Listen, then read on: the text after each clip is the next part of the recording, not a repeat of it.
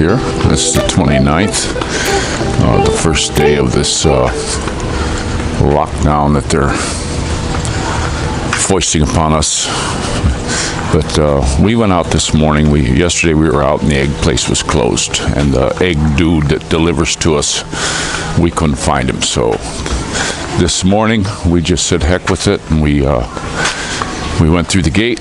Oops, and uh, doesn't seem like any other day. There's a few things closed. The hardware store's closed. That's very unusual on a Monday. I don't see any workmen in here doing any stuff around on the houses except the one house a few streets over. They're they're working, uh, but it's. Uh, we didn't have any problem. We went to the water station, got some water, bought our eggs. A bunch of little shops are open.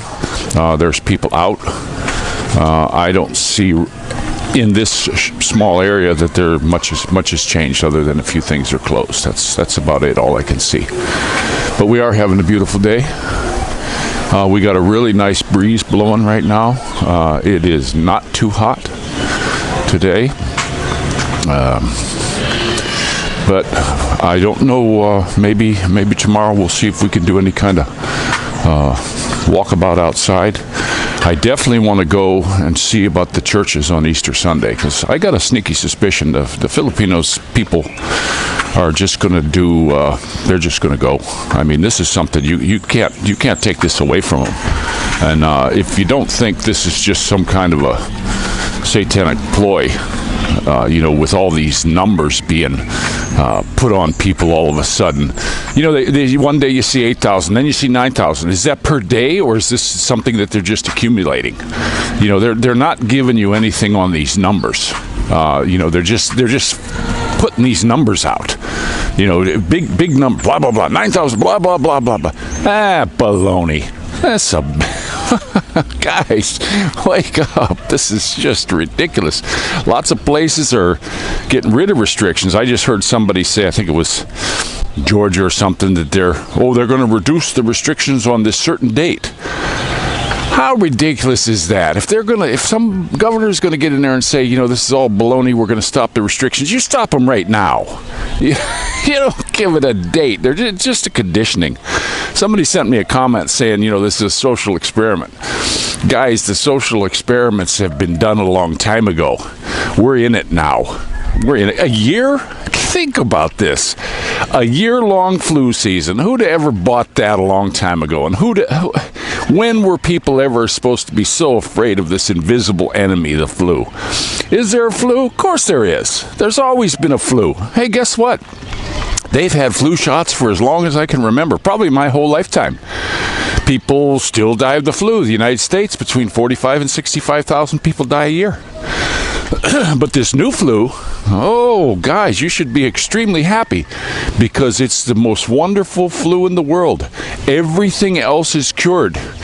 Even people aren't dying on their motorcycles anymore in car accidents because they got COVID. That's what got them. The guy gets smashed uh, on the thing, and a truck runs over his head and pops it. And guess what? He didn't die of a motorcycle accident. He died of COVID. I call it.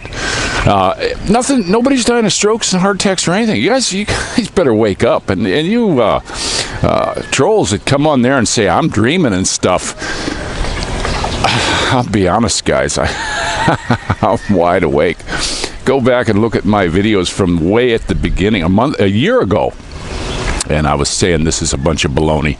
Sticking a big long Q-tip all the way to the back of your head is not testing for something. They're implanting something, guys, or they're damaging something back there. Wake up. Use your head. If you can walk into a store and sneeze and infect the whole store, and they got to take everybody's name and quarantine everybody, but yet they got to go all the way into the to the bottom of your brain to test for something. Give me a break. Just give me a stinking break, guys. Unbelievable the stuff that you, people are buying. I'm just so sick of buying it anymore, and, and I can't believe so many sheeples are just taking it. I had somebody comment on there, oh, you know, the guy in the the guy in the market, the reason why he won't mask is because he's he can't breathe, and it's because he's already got COVID. Now they're going to be starting to point fingers. Remember that movie called, I think it was It or Them with Donald Sutherland, where they had the pods. We're in it, guys. they're going to get the sheeple to point at you and say you're bad. They're going to they're not going to just use the government. They're going to use your own friends and family against you. And this was this is biblical. This is what they said in the Bible. This is what the good Lord told us. This is biblical because they're going to have brothers fighting against brothers, and this is what they're going to do. And and people are picking sides now. You know. It, it's just ridiculous what's going on. Uh, that people are buying this, and if you don't think this is uh, something run by Satan, yeah.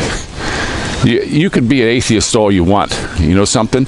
You ain't going to be an atheist after uh, you go sit before the judgment guys. because it ain't going to happen. And uh, I tell you what, you know, everybody has free will. The good Lord gave us all free will. But you better wake up and smell the coffee, guys, because it's a brewing. The coffee is brewing right now. So wake up, sleepyheads. You know, we're not getting we're not getting past this, it seems. A year. A year of this baloney. And now they're they're putting the screws to you again. Here we go again. I mean, a lockdown, all this stuff. It doesn't seem so bad because my wife, every time she goes out, she's asking everybody. She still wears her mask because she lives in fear. I don't. I'm not wearing it. But I'll tell you what, everybody she's asking, nobody's buying it. Nobody is buying this malarkey that's being voiced on us here. They're just saying no, no, this, no. We don't, we don't believe this. It's not. It's all fake. Yeah, and and it's, it's so far it's been unanimous for the last almost a week. Now we even seen a, a lady in the store, and my wife was talking to her, and she, you know, she had the mask on and the big face shield and all this stuff, and everybody in the store, as soon as they got in there, even the workmen's had the mask on their head or the the shield up on the back of their head, and and their mask pulled down. Even the register people, and my wife said, "Oh, you believe in this uh, COVID?" And no, but I don't. I am afraid of getting a ticket. So they've instilled fear into the masses. It's just like the you know the police when they pull you over and give you a ticket. They're installing fear in you, and they're installing fear in you with this, and they're going to keep you in, in fear so that they can control you. If you don't think that uh, uh, totalitarian regimes exist, it's because they didn't teach you your history. And here, they're not teaching history in the schools. I, I, talk to these kids, they don't know nothing when it comes to history. Even my own country, they're not going to teach it, guys. It's your duty as a parent or as a grandparent to teach them and show them. I show my kids pictures of the Holocaust and all the bodies laying in there, and my daughter, why are they? Why are they doing that? I says because they're evil people, honey, and evil exists in this world.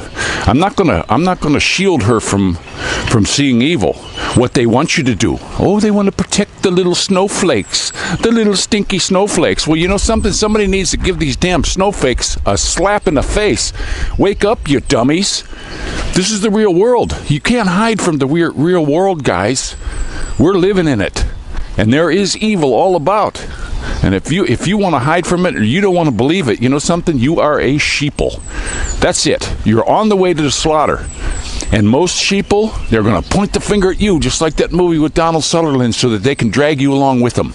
They don't want to be slaughtered alone.